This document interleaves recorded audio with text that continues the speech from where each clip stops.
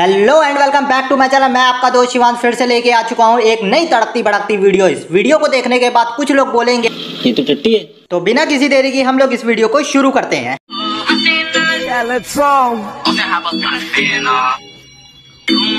नहीं मैं आप लोगों से जानना चाहता हूँ कि ऐसी बकचोदी करने से एग्जैक्टली पे मिलता क्या है? क्या शॉपिंग मॉल वाले स्पेशल डिस्काउंट देते हैं? क्या ऐसी हरकतें करने से?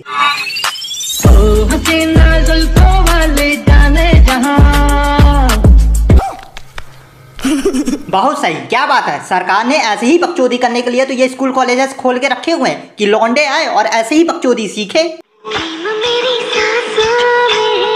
नहीं, मुझे ये समझ में नहीं आ रहा है कि ये लौंडा ऐसी बकचोदी करके, ऐसे पोस्ट मार के दिखाना क्या चाहता है।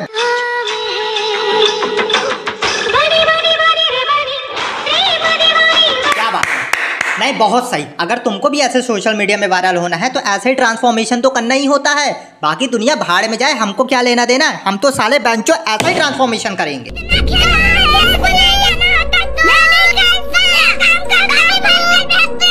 अबे, क्या बकचोदी चल रही है? मतलब एक ही वीडियो में इतने सारे साउंड डाल दिया है कि साला कुछ समझ ही नहीं आ रहा। दिमाग और अलग खराब हुआ जा रहा है।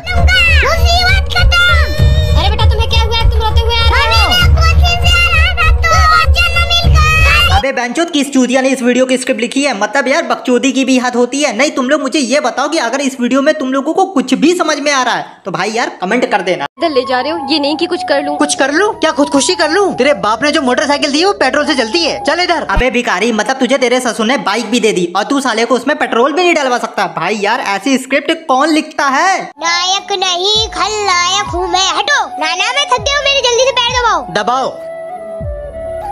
देखो यार तुम लोग इस वीडियो को बिल्कुल भी सीरियस मत लेना क्योंकि ये लोग ना एक काल्पनिक ग्रह से आए हुए लोग हैं। क्या बात कर रहे हैं? इसने हुलिया कैसा बना रखा है? पापा ये बुढ़ा मेरे बीच में बहुत बोलता है। मेरे पापा को बुढ़ा कह रहा है। ओ मैडम नीली जानती है ना मेरी खोपड़ी है ढीली ज़्यादा बोलेगी तो यहीं छोड़ जाऊँगा। मैंने बोला था ना कि ये लोग इस ग्रह के है ही नहीं है। साले को हमारे घर में ऐसा नहीं होता। इतना बोल देते ना तो अभी तक जूते डंडे से सूट दिए जाते। आपको दामाद जी बच्चों को अच्छे संस्कार दीजिए वरना ये हर जगह खुद तो बेइज्जत होंगे ही साथ में आपको भी बेइज्जत कराएँगे।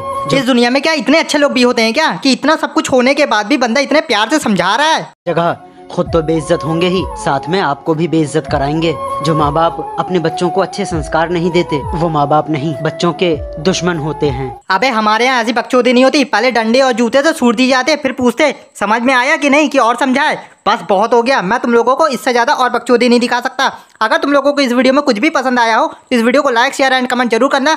मिलते हैं नेक्स्ट वीडियो में।